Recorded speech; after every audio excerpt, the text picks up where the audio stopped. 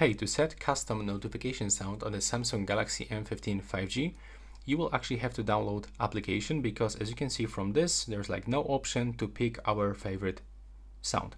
So what you have to do is just open the Google Play Store, then click on the search, and from this input this application name, Zedge, and we have to get this one, Zedge Wallpapers and the Ringtones you have to install this one. It's completely free. You don't have to pay for this application. You don't have to pay for any ringtones, any sounds.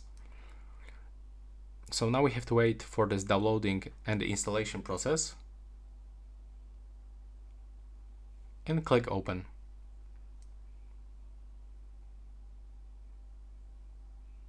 Now just wait for the loading screen. It will actually take around few seconds. After this, we'll get some pop-up notifications that we have to accept and then we'll move to choose our favorite sound. Click to retry if you have this issue. And as you can see from this, we have to click accept and continue.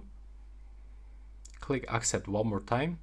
And from this, there's like some push notifications, but I will recommend you to select not now, thanks. Then click on the X in the right upper corner. And as you can see from this, you can actually pick the ringtones, the notification sounds, so uh, let's let's get actually some notification sounds. And as you can see from this, we can find the different sounds.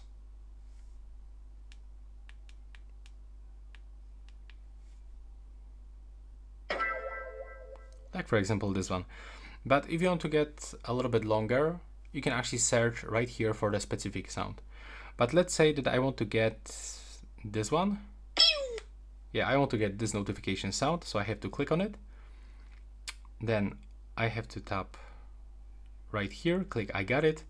Then I have to tap, tap on this icon and I have to set notification. So click here. Now just wait, tap to allow permission, then go back. Now as you can see the sound was updated, click X and now when I go into the sound settings, I can find this sound. No it's not right here.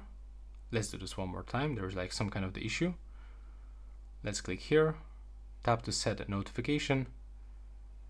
Then click X.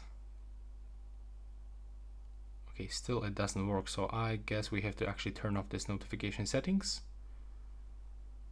Go back to the sounds and vibration notification sound.